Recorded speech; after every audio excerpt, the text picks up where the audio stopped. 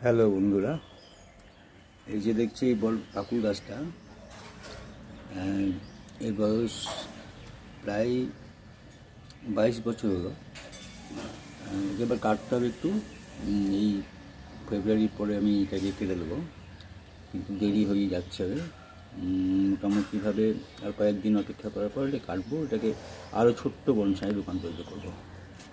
আর এরপরে এই যে গোলাপ সাদা গোলাপ, চন্দ্রমল্লিকা, তারপর এই সব। এখানেও গোলাপ, এটাও গোলাপ। হুম, এই সমস্ত গাছ আমি লাগিয়েছি। আমার ছোট্ট ছাদ বাগানটা উপরের বড় ছাদ আছে, সেখানে আরও অনেক গাছ আছে। তো সেটা আমি পরে দেখাবো, অবশ্যই। তো ভাবনার বাইরে আর কি এগুলো। হ্যাঁ তো ভীষণ আদরের ভীষণ যত্নের আমার। তো এই সঙ্গে আমি কিন্তু একটা ছোট্ট সাদা অপরাজিতা লাগিয়েছি। এতদিন আবার ফুল ফুটতে লেগেছে। গাছটাকে একটু যত্ন করতে হবে। ফেব্রুয়ারিটা ঢুকে গেছে আজকে।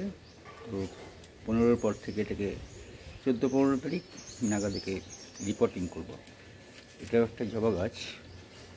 এটা ঝুমকো জবা। ফুল ফুটেছিল প্রচুর।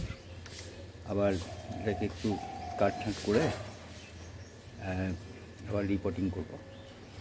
এটা একটা পাতাবাহার আর এই সঙ্গে কিন্তু একটা বেগুন চারা লাগিয়েছি। বেগুন চারাই কিন্তু খুব সুন্দর টবেই হয়েছে। হ্যাঁ ফুল এসে গেছে। সুন্দর। ভালো লাগে আমার। তোমরাও পারো ছোট্ট ছোট্ট একটা একটা করে ছাদ বাগান করতে পারো কিচেন গার্ডেন করতে পারো। ভালো লাগবে নিজের। হচ্ছে তো চন্দ্রমল্লিকাগুলো কাজ ভেঙে পড়ে যাচ্ছে গোলাপ গাছও তাই। সাদা গোলাপটা এত সুন্দর হয়েছে মানে মন ভরে যায় আর কি। তো এইসব যে থাক, পরে আবার আসব।